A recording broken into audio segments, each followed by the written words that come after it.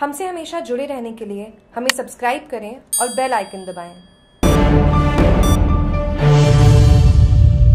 अनूप सिंह लखावत ने प्रभारी मंत्री से शिष्टाचार भेंट कर सोजत में पेयजल समस्या सहित रेंदड़ी गाँव में रोडवेज़ बस सेवा शुरू करने की मांग सोजत क्षेत्र के समाज सेवी अनूप सिंह लखावत ने पाली जिला प्रभारी मंत्री टीकाराम जूली के जोजावर आगमन पर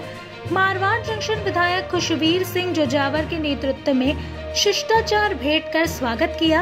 एवं सोजत की पेयजल समस्या के साथ ही सोजत चिकित्सा में स्टॉप लगाने एवं आज़ादी के आज दिन तक रेंदड़ी गाँव में रोडवेज़ बस सेवा शुरू नहीं हुई, जिसे शुरू करने की मांग की गई। एवं प्रभारी मंत्री को अवगत करवाया कि अगर रोडवेज़ बस सेवा शुरू होती है तो सोजत सिटी से रेंदड़ी से भैसाणा होते हुए मारवाड़ जंक्शन बस चलेगी तो स्थानीय ग्रामीण सहित आम जन समय पर रेलवे स्टेशन पहुँच पाएँगे। वहीं दूसरी ओर लखावत ने सोजत सिटी से रेंदड़ी भैसाणा से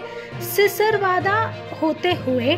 सोजत रोड से काली घाटी से देवगढ़ से उदयपुर से जुड़ जाएगा, जिससे आम जन सहित विद्यार्थियों को उच्च शिक्षा के अध्ययन हेतु आवागमन के लिए दर दर की ठोकरें नहीं खानी पड़ेगी, जिस पर प्रभारी मंत्री ने आश्वस्त किया कि जल्द ही आपके गाँव में राजस्थान राज्य पथ परिवहन निगम की बस शुरू की जाएगी। इस दौरान प्रभारी मंत्री टीकाराम जूली